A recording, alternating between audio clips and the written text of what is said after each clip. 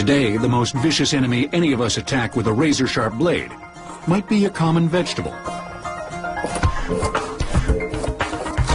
But there's no need to carry a 20-plus inch katana blade into the kitchen. Cutco Cutlery of Olean, New York, claims to create the sharpest kitchen knives in the world. It all starts with a steel alloy containing chromium. For the perfect balance of strength, edge retention, and corrosion resistance, the metal will undergo a high-tech heat treatment. We got the finest steel, but if we don't go through a proper heat treating process, we've wasted all our money. This is just show you here, this is not heat treated. So here's what we would have if we did not heat treat this blade. It would bend in your home, it would not hold an edge. In the first step of the brutal three-part heat treat process, a conveyor feeds newly stamped unsharpened blank blades to a furnace. Now we're going to put it in a deep freezer and freeze it to 120 degrees below zero for about two hours at temperature and pull it out. After these two steps, the cold steel blades are far from finished.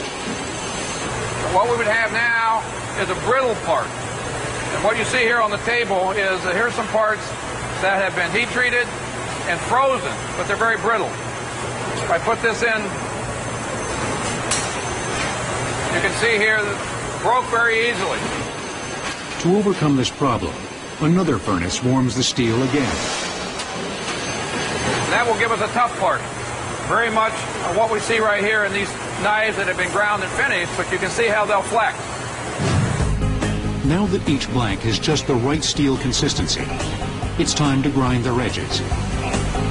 Each blank, now 95 thousandths of an inch thick, passes through an automatic grinder, which tapers its edge to just 18 thousandths of an inch. This is about five times as thick as a sheet of paper. But we've only gotten started. Now here comes the process that'll turn these edges into the world's sharpest. Operators manually press each blade, one side at a time, along a powered 4-inch wide moving conveyor belt, with a consistency not unlike sandpaper. In seconds, a barely visible light line appears on the rim. This is called the burr. Need a better look? The honing process grinds down the metal until the two faces meet each other at the edge. Once they do, one side of the metal curls over the other and produces the burr, which is a thin, nearly microscopic wire. It's just a floppy piece of thread like hanging on the edge. And actually it bends back and forth, so you need to take it off so you get down to the strength of the edge. If the burr were not removed, the knife would act more like a saw. Polishing erases the burr. If you use a cloth buff, much as you'd use if you were uh, polishing your car with, a, with an automatic buffer, the wheels are turning 3,600 RPM. So when they're turning, they're hard as a rock. What we're actually doing is polishing the edge, which actually buffs away the burr and makes it very smooth, so the edge actually glides through the foods that it's cutting. Heated, ground, sharpened, and deburred. The cutting edge now measures a super thin 1 ten thousandth of an inch, 20 times thinner than a human hair. But this minute edge isn't the only measure of a sharp and effective kitchen knife. It must also keep its edge for as long as possible.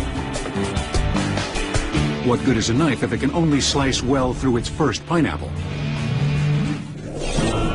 To prove its knives are superior to other brands, Cutco conducts a Catra test, an industry standard.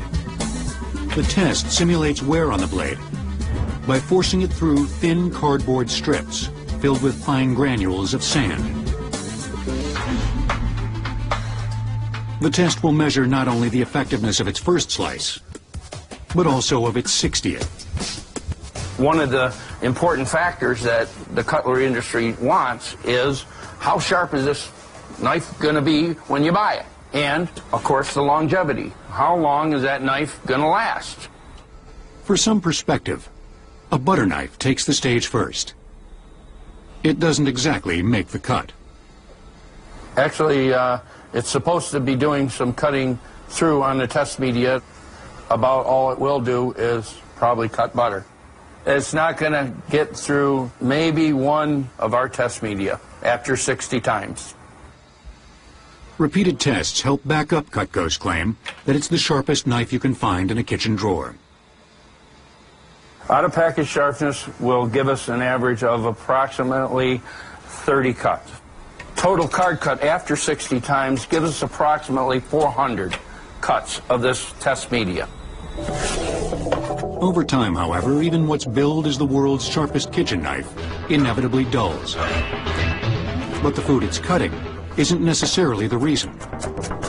It's other things that the knife comes in contact that does the dulling.